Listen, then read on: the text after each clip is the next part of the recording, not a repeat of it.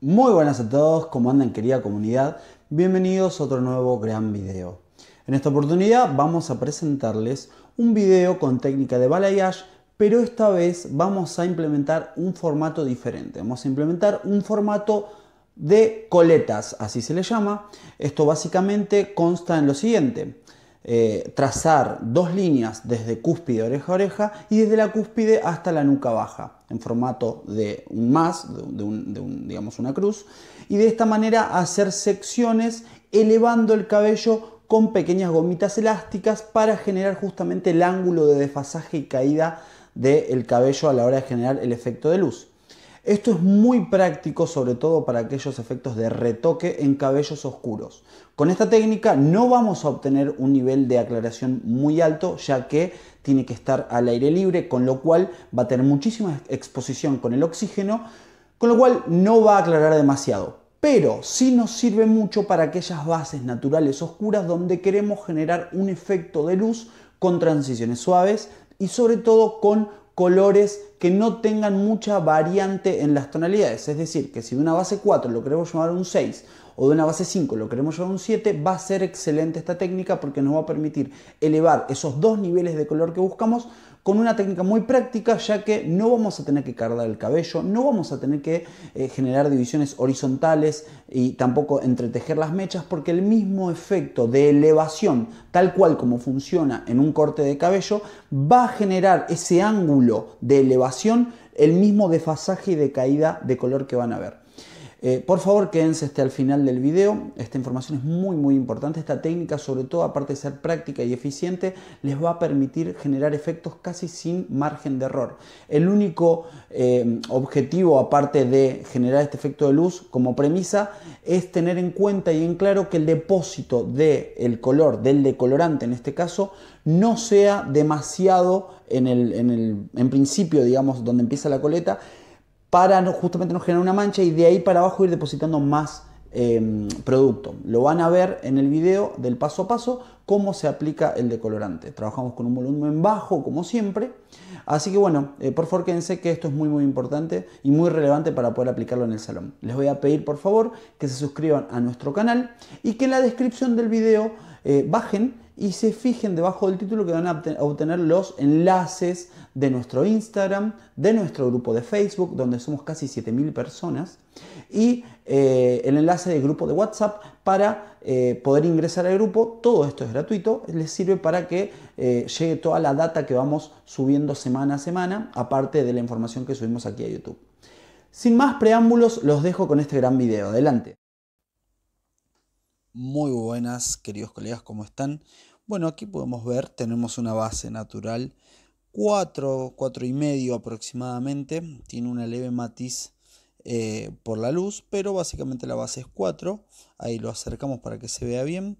Tiene unos pequeños sectores donde hay canas, muy muy poquito.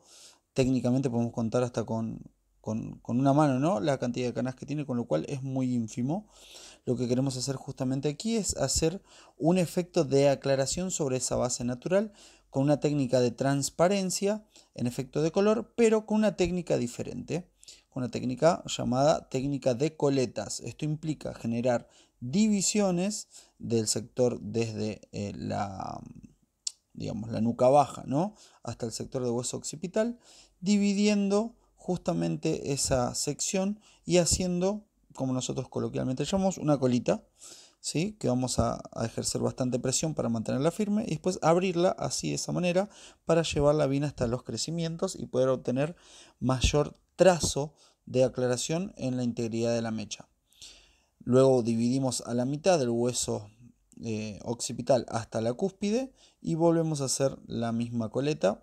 Volvemos a abrirlo para llevarlo bien bien hasta el crecimiento y obtener ese trazo del que tanto hablamos para generar la misma luminosidad en forma homogénea, claramente. Esto lo vamos a repetir en, estas secciones, que son estas tres particiones que hacemos en el sector de atrás de la cabeza. Y luego, por último, vamos a separar los sectores laterales, eh, una coleta de cada lado, con la misma elevación. Es muy importante de que la, elevación de ángulo de esas colitas o coletas, como quieran llamarle, tengan la misma altura para que cuando el efecto del color en transición baje, eh, sea homogéneo y sea uniforme a nivel de transiciones y no me genere justamente ningún tipo de eh, efecto de luz más en un lado, más en el otro o menos en algún sector que en otro dependiendo de esa ubicación. Por eso es muy importante más o menos elevarlo casi todo al mismo nivel para generar justamente ese efecto de luminosidad que nosotros buscamos.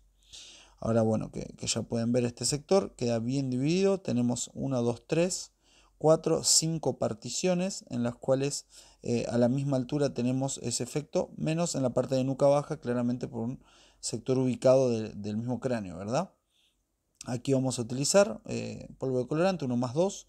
Como siempre, el peróxido de hidrógeno de 20 volúmenes eh, que, solemos trabajar para efectos de, de, aclaración. Esto sobre todo nos sirve no solamente para mantener la buena textura, sino que también para mantener un control perfecto de la aclaración. ¿Cuál es la diferencia entre trabajar 1 más 2 eh, con peróxido de 20 volúmenes, el polvo de colorante, eh, a mano alzada, sin ningún tipo de elemento como banda térmica o papel aluminio, técnicamente la diferencia está que mientras mayor exposición al oxígeno tengamos, eh, menos fuerza de compresión y aclaración va a tener. Esto implica que si tuviese una banda térmica prensando el cabello o un papel aluminio que me eleve la temperatura, seguramente el fondo de aclaración me va a revelar o desvelar un formato de eh, aclaración un poquito más arriba que cuando el cabello está expuesto simplemente al oxígeno como se ve ahora eh, al pleno aire libre. Esto sirve muchísimo saberlo para justamente generar el tipo de efecto que uno busca. En este caso lo que busco es un efecto de aclaración intermedia. Ya hay que tener en cuenta que lo que tiene en medios y puntas es un fondo leve de aclaración con efecto amarronado lo que voy a hacer yo es acentuar más ese fondo justamente para que se vea un poco más claro. Importante lo siguiente, colegas. Yo estoy aplicando de menos a más, donde aplico en justo donde comienza la coleta, producto en menor cantidad y deposito mucho más producto en medios y puntas. Esto es para ejercer un efecto de aclaración más profundo de la mitad hacia abajo y que haya muy poco depósito de decolorante en los sectores iniciales donde está esa colita, donde está la gomita elástica. Esto es para justamente mantener un control de desfasaje.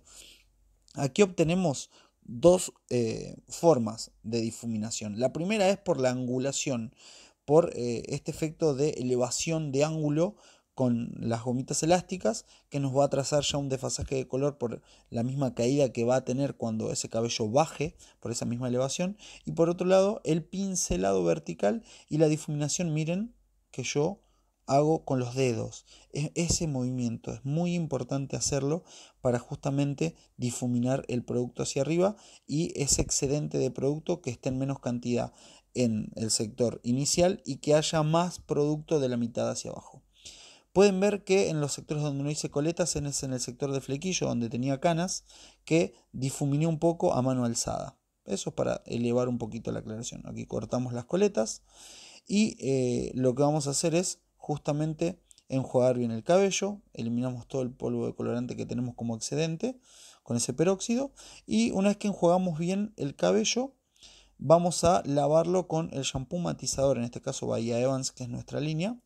Eh, lo que va a hacer técnicamente es matizar el cabello con sus dos pigmentos que tenemos, en este caso azul, que es el pigmento que va a neutralizar o matizar aquel fondo anaranjado propiamente del 7, y por otro lado el reflejo violeta que van a utilizar el dorado. Fórmula 7.1 más 10 volúmenes, dejamos actuar 10 minutos y aquí los resultados. Resultados naturales, transiciones muy suaves, ven que no tenemos vetas ni manchas. El efecto realmente es muy óptimo, me genera un nivel de aclaración súper natural. Claramente el 7 tiene connotaciones de visos anaranjados, pero pude neutralizarlas muy muy bien con el 7.1 más esos 10 volúmenes.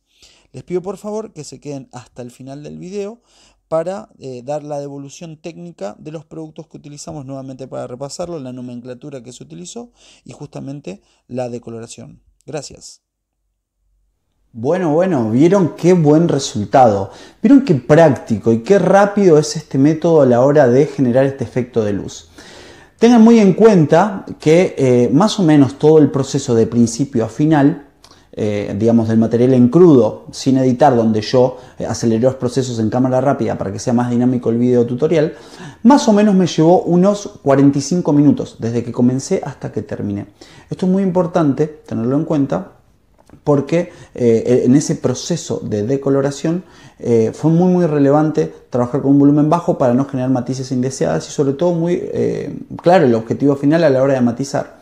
Yo tonalicé, como lo vieron y se los recuerdo, con un 7,1 más 10 volúmenes durante 10 minutos en la pileta, posterior obviamente al lavado que hicimos con el shampoo matizador de Bahía Evans, que es nuestra línea premium, eh, que tiene pigmentos azules y pigmentos violetas. Esto siempre lo remarco porque ciertos sectores donde el cabello eh, tiene visos un poco más claros, como más dorados, el shampoo y la crema violeta van a tonalizar ese fondo amarillo o dorado, como quieran llamarlo, y el pigmento azul se va a encargar de generar un efecto de color de antesala para poder neutralizar justamente eh, ese fondo anaranjado.